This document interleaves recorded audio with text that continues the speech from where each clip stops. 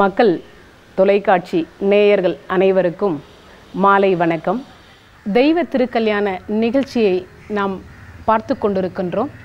காசிப முனிவராக இருக்கக்கூடியவருக்கு பதிமூன்று பெண் பிள்ளைகளை திருமணம் செய்து கொடுத்தார். அவங்க தான் திதி அதிதி இந்த சொல்லுகிறோம் அல்லவா வளர்பிறையில் வரக்கூடியவர்கள். அதெல்லாம் பார்த்தீங்கன்னா இந்த அமாவாசை கழித்து வரக்கூடிய பதிமூன்று திதிகள் தான் இந்த பெண் பிள்ளைகள் அப்படின்னு சொல்லப்படுகிறது. அதாவது பௌர்ணமியை விட்டுட்டு அமாவாசையை விட்டுட்டு இடையில் வரக்கூடிய பதிமூன்று திதிகள் யார் அப்படின்னா தட்சனுடைய மூத்த பெண் பிள்ளைகள் அப்படின்னு சொல்லப்படுகிறது. அதுக்கடுத்து பார்த்தீங்கன்னா யமதர்ம ராஜா அப்படின்னு சொல்லக்கூடிய தர்மராஜாவுக்கு யமதர்ம ராஜாவுக்கு பத்து பெண் பிள்ளைகளை திருமணம் செய்து கொடுக்கிறார். இப்போ இருபத்தி மூன்று பெண் பிள்ளைகளை திருமணம் முடிஞ்சு போச்சு. மீதி இருக்கக்கூடிய பெண் பிள்ளைகள் இருபத்தி ஏழு பேர். இவங்க அனைவருமே இந்த மொட்டை மாடி அப்படின்னு சொல்லக்கூடிய மேல் மாடியில் போய் முழு பௌர்ணமியாக இருக்கிறார் சந்திர பகவான். இந்த சந்திர பகவானை பார்த்த உடனே ரொம்ப அழகாக இருக்கிறாரே மதினா அழகுன்னு ஒரு அர்த்தம். அப்போது நிறை மதியாக இருக்கக்கூடிய சந்திர பகவானை பார்த்த அடுத்த வினாடி அவர்கள் அனைவருக்கும் மனசு பறி கொடுக்கிறார்கள். அதாவது அழகை பார்த்து ரசிக்கிறார்கள். அப்படி அழகை பார்த்து ரசித்த உடனே தட்சனுக்கு என்ன தோணுதுன்னா ஒருவேளை இந்த சந்திரன் மீது இந்த இருபத்தி ஏழு பெண் பிள்ளைகளும் ஆசைப்படுகிறார்கள் போலும் அப்படின்னு நினச்சி சந்திரா இங்கே வான்னார். உடனே ஏன்னா எல்லாருமே இந்த முப்பத்தி முக்கோடி தேவர்கள் சூரியன்லேருந்து சந்திரன்லேருந்து வருணன்லேருந்து வாயுவிலேருந்து அனைத்து முப்பத்தி முக்கோடி தேவர்களுக்கு தலைவனாக இருக்கக்கூடிய இந்திரனே இந்த தட்சனுக்கு தான் வேலை செய்யணும். இந்த தட்சன் என்ன சொல்கிறாரோ அதன்படி தான் கீழ்ப்படியில் தான் வேலை செய்யணும். அப்படி இருக்கும் பட்சத்தில் இப்போ என்ன செய்ய முடியும்? இவர் சொல்லக்கூடியதை அவர் கேட்குறார். அப்போது சந்திரா இங்கு வா அப்படின்னு அழைத்தார். சந்திரா இங்கு வா என்று அழைத்த அடுத்த வினாடி சந்திர பகவான் அங்கே வந்து காட்சி கொடுக்குறார். காட்சி கொடுத்த உடனே அந்த சந்திரனை பார்த்து என் இருபத்தி ஏழு பெண் பிள்ளைகளும் நீ திருமணம் செய்து கொள்ளு சரி இப்போ இந்த இருபத்தி ஏழு பெண் பிள்ளைகளும் திருமணம் செய்து கொள் அப்படின்னு சொன்ன உடனே சந்திரன் மறுப்பு சொல்ல முடியாது. அதனால் செய்து கொள்ளுகிறேன் என்று சொல்லி இருபத்தி ஏழு பெண் பிள்ளைகளையும் அவர் திருமணம் செய்து கொண்டார். ஒரு மனைவியை வச்சு சமாளிப்பதே ரொம்ப கஷ்டம். அதில் இருபத்தி ஏழு பெண் பிள்ளைகளை வைத்து எப்படி சமாளிக்க முடியும்? ஆனால் சந்திரன் சொன்னார் இருபத்தி ஏழு பெண் பிள்ளைகளையும் நான் சமமாக கருதி திருமணம் செய்து கொள்கிறேன் அப்போ தட்சன் ஒரு வார்த்தை சொன்னார். என் பெண்களின் கண்ணிலிருந்து கண்ணீர் வரக்கூடாது அப்படின்னார். கண்டிப்பாக சமமான அன்பை செலுத்துவேன். ஏன்னா இரண்டு மனைவி இருந்தாவே ஒரு மனைவிக்கு பட்டு புடவையும் ஒரு மனைவிக்கு நூல் புடவையும் எடுத்து கொடுத்தா மத்தளத்துக்கு எப்படி ரெண்டு பக்கம் அடியோ அது போல் அடி விழும்னு சொல்லுவாங்க. இவர் இருபத்தி ஏழு பெண் பிள்ளைகளை திருமணம் செய்து கொண்டிருக்கிறார். சமமான அன்பை செலுத்துன்னா ஒரு பழமொழி சொல்லுவோம். ஆசை அறுபது நாள் மோகம் முப்பது நாள் அப்படின்னு. அந்த ஆசை அறுபது நாளும் மோகம் முப்பது நாள். இந்த தொண்ணூறு நாள் வரைக்கும் தான் சந்திர பகவான் சமமான அன்பை செலுத்தினார்.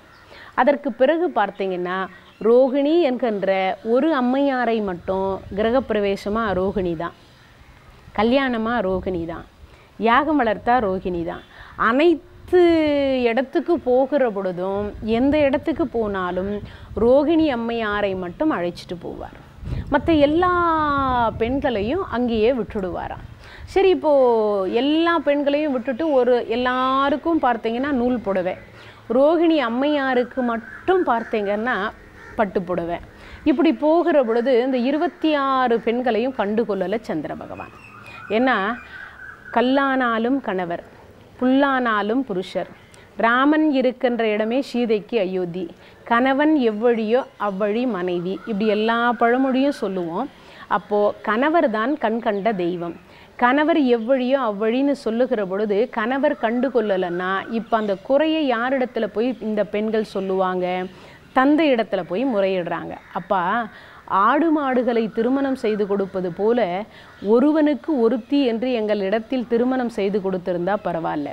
இருபத்தி ஏழு பேரையும் ஒரே ஒருவருக்கு திருமணம் செய்து கொடுத்ததுனால அவர் அழகாக இருக்கக்கூடிய ரோகிணியை மட்டும் அழைத்து கொண்டு போகிறார்.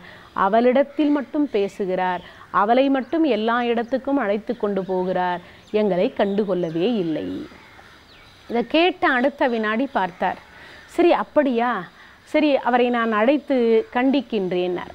சந்திரா இங்கே வான்னார் வந்தார். இந்த இருபத்தி ஏழு பெண்களும் ஏற்கனவே தன் வீட்டில் இருக்கிறாங்க. ஆனால் இதை சந்திர பகவானுக்கு தெரியாது.